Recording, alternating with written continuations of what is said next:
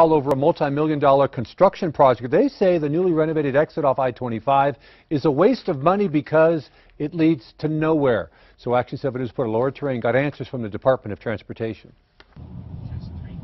When you're driving out of Santa Fe northbound on I-25, the road gets narrower and the landscape more rural. About 20 miles from the city, you hit exit 294, an exit currently under construction for the price tag of $8 million.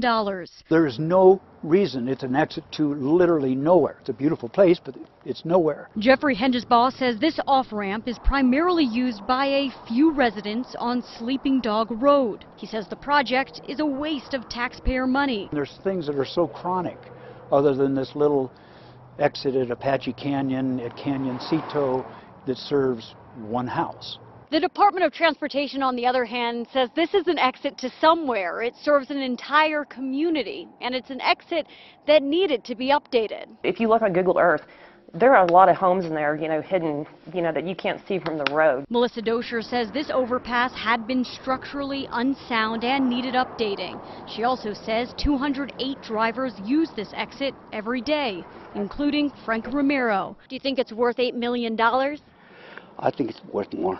But Hengesbaugh is not budging on his criticism of the way the DOT is spending its budget. Laura Terrain, KOAT Action 7 News. The DOT has similar projects planned for other exits in the area. Now, if you have a problem, the spokesperson said they hold plenty of community meetings before they break ground.